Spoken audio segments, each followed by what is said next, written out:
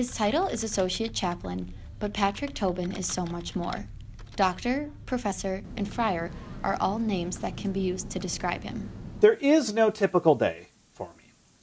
During the week, Father Tobin can be found teaching chemistry, celebrating Mass, listening to confessions, and working in campus ministry. A lot of preparation goes into lectures. Um, it, in, in terms of homiletics, uh, the general rule of thumb is that it, there is an hour of prep for every minute of the homily. Um, and I treat my lectures uh, more like a series of homilies. It took Father Tobin many years of school to get to where he is now 27 years to be exact. We've got four years in college, and then over on the other side, you've got six years for a doctorate in chemistry.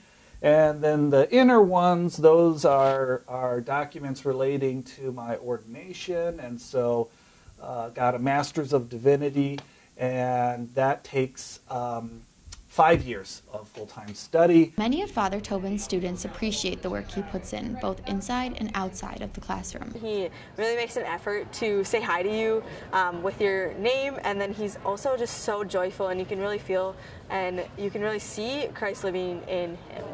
Father Tobin describes his life as being about different jobs that intersect. There's always something to be doing as a priest.